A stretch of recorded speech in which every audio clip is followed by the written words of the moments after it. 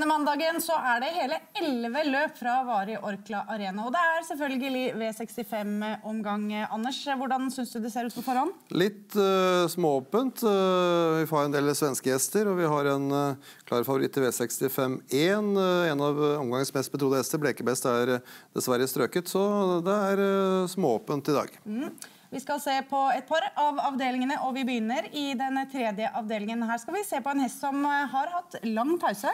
Hatt lang pause, ikke startet siden juli. Vi snakker om nummer én Åsa Odin. Fikk jo et mye, mye bedre løp nå, i og med at eh, Blekebest er strøket. Eh, siste feilfrie løpet til Åsa Odin, det var nest sist. Han gjorde en, egentlig en Veldig bra avslutning her. Det er Høybekabben som vinner dette løpet her foran Akset Pien. Går 30-4. Står spennende til på strek i dag. Glem den siste starten. Da mista hesten et par sko og unnskyld den dagen. Ellers har jo Åsaldin vært bra. Syns han var positiv i Vestø-femmen eh, tredje sist. Så eh, en god mulighet hvis han eh, er like bra som han var nest sist. Han har et fint løp på papiret. Ellers et åpent løp? Ja. Mm. Vi går videre da, til den femte avdelingen. og Her kommer en av de svenske gjestene du snakket om. Lite startet i år.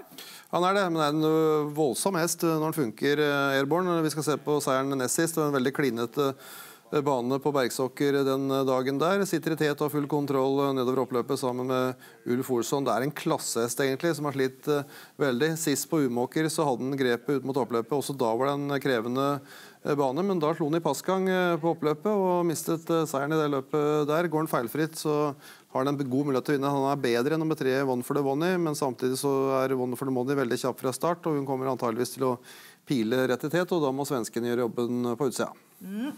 Vi får se hvordan det går. Vi går da til finalen, og her er det flere av hestene på startstreken i dag som møtte hverandre også sist. Det gjorde det, og det var noen som var litt uheldige. Spesielt nummer 10 Lindy Sinkel Intermingle som ble takla i den eh, første svingen. Kommer bra tilbake ut i banen. Det er eh, Aston Brodde som vinner dette løpet her, foran Nelson Bidem som gjør et bra løp. Men nummer eh, fem, Gold Ripasso, med nummer åtte her, den ble sittende stengt til slutt og galopperte fra start og gjorde egentlig et veldig fint løp løp etterpå, så den skal man være litt obs på. Nummer fem, Golder i Passo, som akkurat nå er en 5,6 Det er greit nok at tidlig Teal Indies Inter Mingle er en favoritt, men det var langt fra noen banker. Og Nilsen, Nilsen Beatem hører hjemme på, på bongen. Og så har vel også nummer ni, Slicen eh, eh, et, et, riktig løp på papiret. Mm.